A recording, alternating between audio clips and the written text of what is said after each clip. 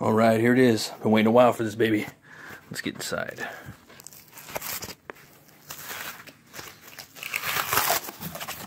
Nice.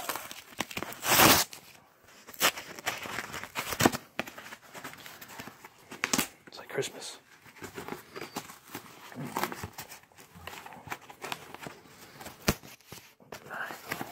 We got it.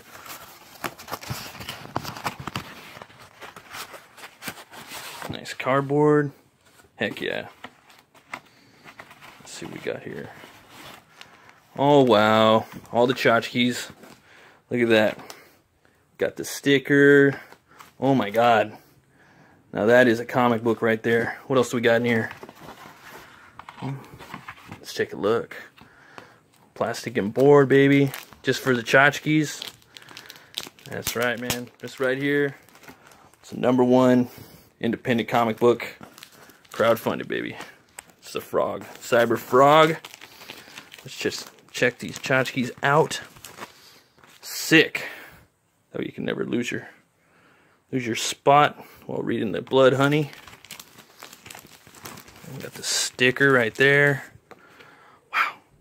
That shit is tight as fuck. Cool. Stick that one on the back of the car.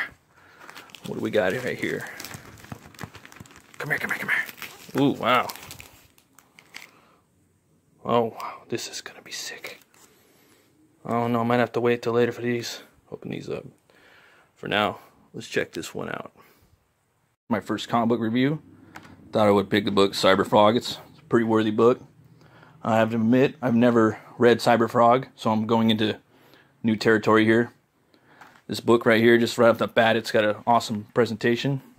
I believe it's a foil style imprint. Actually has a uh, side from the uh, creator signature on top, and uh, you can actually probably get it drawn on at cons. That's a cool feature to add to the book. Uh, this book does start off in the 90s, so it's kind of cool. Yeah, right there, my Ethan Van Sciver, colored by Kyle Ritter. Awesome. Yeah, look at that. So basically, there's an alien life form that sends uh, two of its um, babies to become world protectors, to bond with new life forms on different planets, kind of like um, Venom or Superman. And they, uh, I think they're supposed to basically meet with like a human life form, but they ended up bonding with a, uh, from my understanding, a um, a frog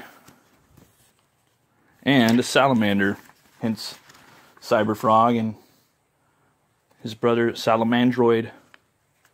Um, what I really liked about this scene right here in the book, um, there's this little part where he activates its armor and kind of goes into this like Iron Man esque or cyborg type scene.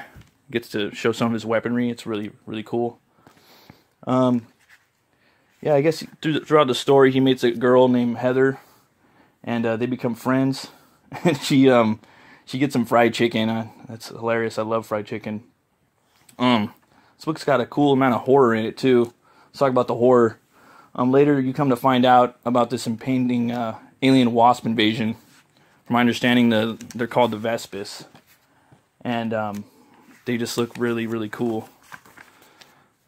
Um, if I could show you some of them, they have these hives, and um, they basically turn humans into uh, these food sources that they feed off of, and uh, they turn them into this honey. And I've never seen that before. It's pretty, it's pretty original. It's like a golden gore. Reminds me of uh, something like Cronenberg out of The Fly. No, the horror is pretty. It's pretty brutal in here. I wasn't expecting that for it to be that way. It looks really cool. It's right up my uh, right up my alley. The art is phenomenal. Um, it's fun to look at. It makes you feel like you're watching a movie.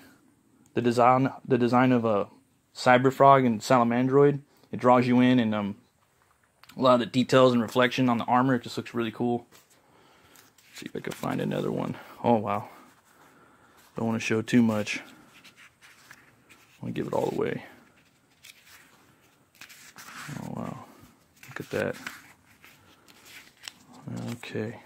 Oh wow! Look at that. Jeez. Summon through it.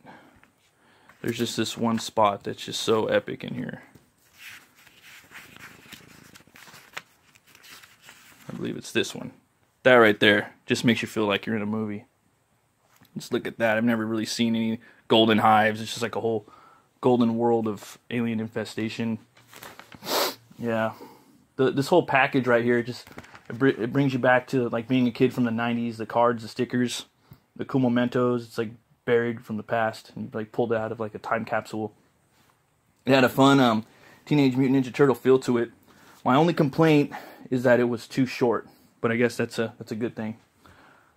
Yeah, it reminded me a lot of things that I like, you know, like Venom, Spawn, Superman, Saturday morning cartoons, and even the things like Predator. Yeah, all in all, a great book and a, and a fun throwback. Triggers uh, deep cuts. I definitely uh, give this book two horns up. All right, guys. See you next time. Have a great day.